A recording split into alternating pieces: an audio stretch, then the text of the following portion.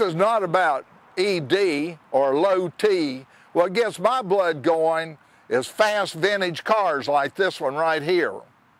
I haul a lot of cars. That's why I chose the JB Enterprises tilt trailer. It works so easily. I also like to show my car off, and it makes it a lot easier to get in and out of my car when we have an open trailer. Let's get this car unstrapped and I'll show you how it works.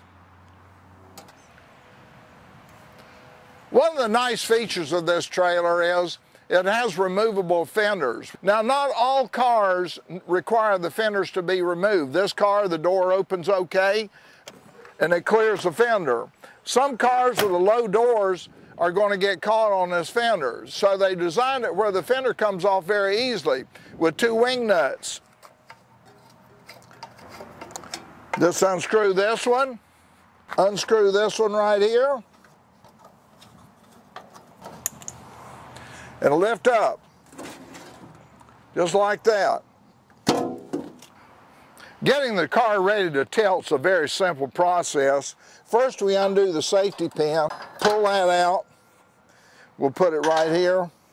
Then you have to unhook your tilt lever, which has another safety on it, and you lift up on it like that, the car's ready to tilt.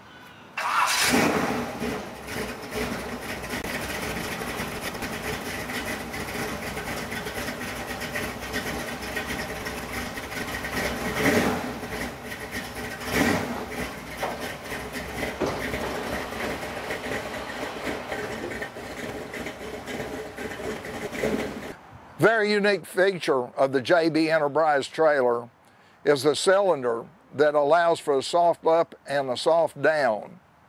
It's a two-way action cylinder. Also, if you'll notice, underneath the trailer is a spare tire. A nice rack to store your spare tire out of sight and out of the weather. On either side, there are two tool compartments. Up on the front end, we have a swing away tongue jack. The trailer comes equipped with brakes. The standard tilt trailer features two torsion axles, no springs. Gives you a lot better tire wear and a lot better strength for longer lasting soft rides. Trailer comes with uh, automatic grease cups. The trailer features LED lights, which gives you a nice, safe bright light for tail lights and turn signals. All of the side clearance lights turn with the turn signals. The deck is solid diamond plate and has eight tie-down recessed rings in it. Standard color for the trailer is black. However, there are many other color options available. The color is powder coat finish paint, top and bottom, to help eliminate rust and to help eliminate scratching and marring.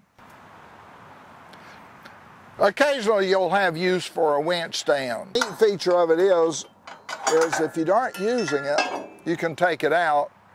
It's very easy to get the trailer back into the transport position empty just by pressing down on the deck with the weight of your body. Push it all the way down, pull your lever like this, and you're locked down and ready to go.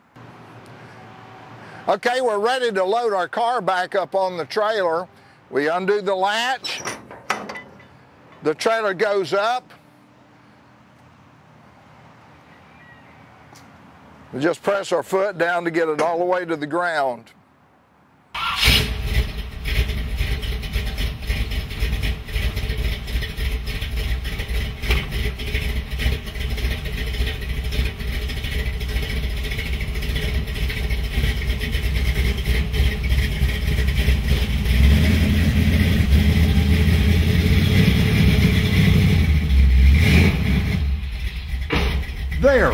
I said it.